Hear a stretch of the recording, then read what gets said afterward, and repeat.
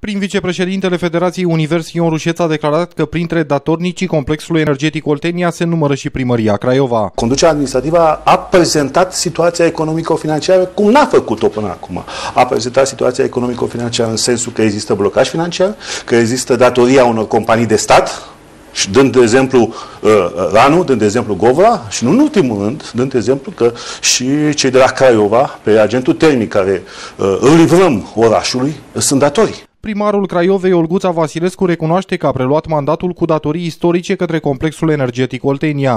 Sunt datoriile istorice dinaintea mandatului meu, de când sunt eu primar, suntem la zi cu plata datoriei, dar este foarte adevărat că sunt uh, datorii dinainte și penalități care au tot curs și au mărit uh, și mai mult datoria.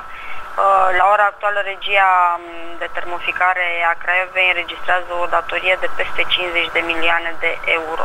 Olguța Vasilescu spune că de când se află la conducerea primăriei Craiova a devenit unul dintre cei mai buni clienți ai complexului Oltenia. Uh, la ora actuală, Craiova este cel mai bun platnic dintre toate celelalte societăți care sunt alimentate de complexul energetic din afara județului Gorj cel puțin în ultimii doi ani de zile, noi am respectat toate termenele de plăți.